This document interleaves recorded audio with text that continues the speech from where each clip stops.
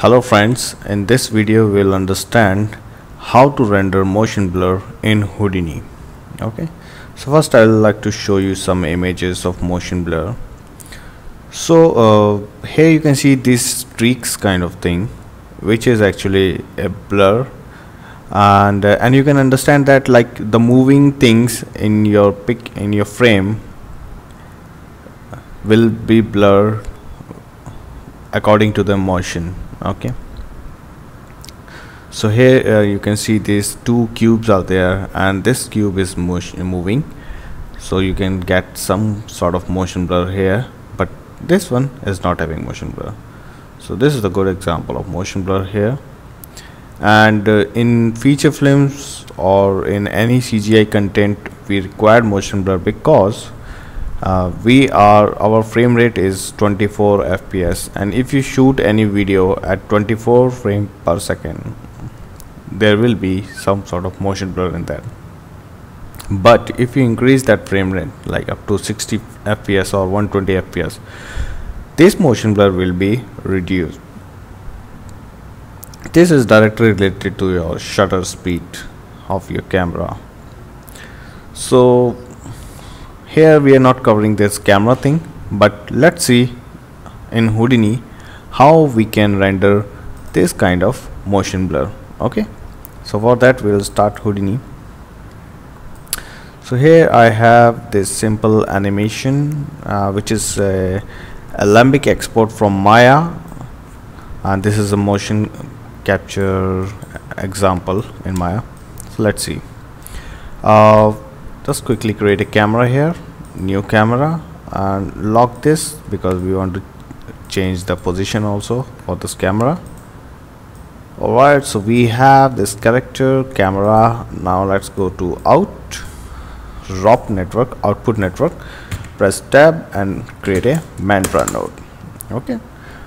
Now you can see this reel icon here right click and mantra 1 now let's render this so this is my image with no motion blur okay? Now let's start how I can render our character animation or any characters or objects with motion blur. So for that first you can select your mantra node go to properties sampling allow motion blur okay? If you render it still the motion blur will not come because we need to turn on some other settings also so let's jump back to object level your scene level. And uh, where your uh, character is if you select this this is your character. Go to render sampling and you can enable geometry velocity blur. If you check that on and if you render still your motion blur will not be there. The reason is this is calculating the velocity blur but if you go inside and if you middle click on this node you cannot find any velocity attribute inside this. So we have to create a velocity um, a velocity attribute to generate motion blur. For that you can use trail SOP. This trail SOP can generate velocity attribute for you but here uh, instead of preserve original you can use compute velocity. And now if you middle click that now you can see this you have v3f that means you have velocity 3 float value that is vector okay? So you have now velocity vector. Now you can if you can uh, render this you will see the motion blur. So if you select uh, and render that and here you can see now I can see some sort of motion blur. If you compare that go to previous but it's very grainy and uh, how I can fix that? For that you can go to out. And uh, here you can see the pixel sample. You can increase by 10 10 this will obviously increase your uh, render time also. So just uh, make a suitable value for you to match your uh, time render time and image quality. Okay as you can see the my rendering is bit slow in this but now I get uh, motion blur in this. So this is the first example where we learned that how we can render a motion blur in characters. Okay. Now what about if we instead of character animation if we used any fracture geometry rigid body stuff then how we can render that? So let's see let me open a new scene uh, which is rigid body motion blur test which I created. Uh, okay so this is uh, also another simple test but here instead of uh, character animation we'll use um, rigid, rigid body stuff okay? So create a new camera uh, new camera lock that select that and first time play. The torus collide with two surfaces create uh, debris and these debris we have to render them okay. Oh so second time is faster because it's created its cache and now you can see this okay. Let's come a little bit closer and here we can see our geometry. Okay stop that. Uh, let's choose this frame and hit render. Okay first we have to create the output. Out and create a mantra okay? Okay. So as you understand properties sampling allow motion blur. That's it for now. We are not gonna increase the pixel sample. And if you render with mantra 1 okay. So we'll just use the default setup which we use for characters. So if we go to select your object in my case this is torus object here. Okay. And jump inside this. And uh, let's see if you don't want to render your stuff here you can create your new you can uh, we'll just take our simulation just hide this and create new geometry node and we'll name this to uh, our debris render. Okay. Go inside delete this default file node and we'll copy our dop import node. So but still you can see your simulation is there everything is fine. Okay. You select this go to render sampling geometry velocity blur now hit render. Of course you need to add a trail SOP here because you want velocity okay. One thing I want to say that here we have velocity. If you want to see this uh, if you can see there are different uh, attributes which are come. And here you can see the velocity 3 float. That is also there okay but somehow this is not working. For that we can use a trail SOP and connect that trail SOP here. And here you can use compute velocity. Okay. Now if you hit render everything you did as the character animation but here in dynamics where you import the dynamics you can see the dop import that means dynamic operator import. But still the motion blur is not coming. For that you need to change your import style. So for import style if you click on fetch let's try with packed. And now you can see a motion blur in your debris. So like previously it was this now you can see let's see if if uh, I'm not satisfied with this uh, motion blur and I want to increase that.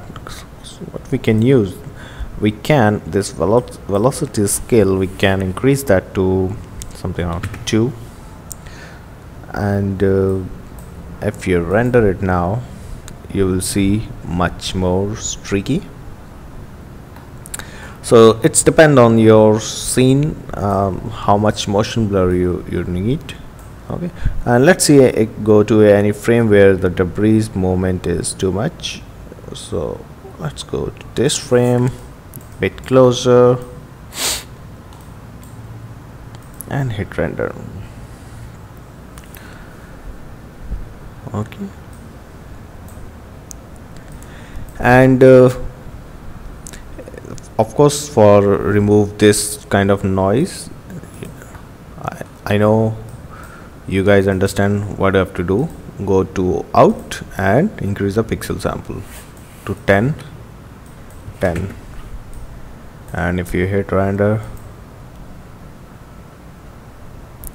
now yeah previously it was that noisy but now it's it's pretty much okay so once you have lights and shadows in your scene it looks very good. And you can integrate these layers these render passes in your live action footage. With the live shoots which which actually having motion blur. And this motion blur is actually required to render from 3d uh, there are some options in compositing so you can add some motion blur in compositing. There are good plugins also. Uh, for example you can use ReelSmart motion blur. Uh, that is industry's very famous uh, motion blur plugin for after effects nuke. But uh, if you are working on any stereo project that uh, that plugin will not work because it's calculating the motion blur based on the pixel. And um, here we are ex ex exactly calculating the motion blur from 3d world. So if you want to render two cameras the motion blur will be same in both camera. So this is the thing you should remember if you're working on a stereo project. Otherwise you can achieve this kind of blur in compositing also but I would highly recommend like if you have time and if if it is not expensive to render motion blur in 3d so you can definitely go with the 3d motion blur. It will look um, add more realism in your scene okay? Uh, let's uh, and finally uh, uh I will I would like to show you one particular example also like how you can render your uh, particles with motion blur. So let's see what we have in our scene. Uh, we have teapot. Press L. Oh file cache. See it's a bit heavy let okay yeah it's working. Okay let's play this.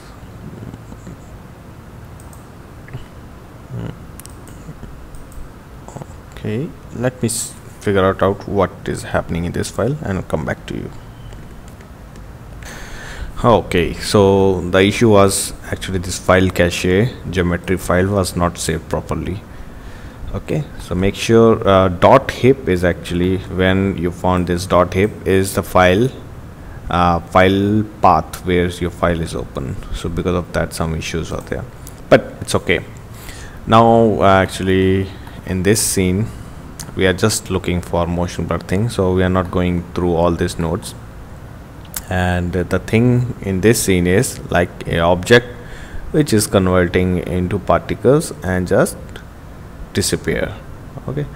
So let's say uh, if I want to render this frame uh, let's camera. We have camera here and go to out. We have let's see take one new mantra. And in this mantra properties sampling allow motion blur. Mantra 1 okay so you have something like that go to object level. Can if you want your window should always be visible on top of that you can right click and use always on top. So by that you can always see your window this. Now this is in linux you can do this. For windows you cannot. Okay so teapot where particles is uh, I can go to render sampling geometry velocity blur. If you hit render all right you know you can see this there are some blur inside this. Because we have in particles where we view particles you should have the velocity this velocity attribute you have okay? So here it's not an issue you can use this and um, let's see if uh, there are some few options also which affect the motion blur is if you're in camera. And in first by default it's in transform so you can go to your sampling tab. And in sampling you can see your shutter time. So how much your shutter time you want. If you increase that let's say 5 the motion blur streak should be increased as you can see this okay? So this shutter time is actually how much how many frames you want your shutter should be open. So let's say if you are rendering frame 12 and uh, if your shutter time is 5 so before 5 frame it's calculating its uh, points and try to join with motion blur from that first uh, on that 5 frame less. So in this case uh, if you go back it's 7th so from 7 to 12 all the points will come together and create a blur. And let's say if you want only one frame back so that means it's calculating 11th and 12th for creating motion blur. And if you say 0.5 which is the default value it will render very minor so in this case if you don't want to change the shutter value it, then you can uh, add a new trail SOP and increase the velocity there. So there are these options. With that you can render motion blur in in characters and rigid bodies debris particles wherever you want you can apply your stuff. With motion blur you can render with motion blur and yes this is for this tutorial. All right bye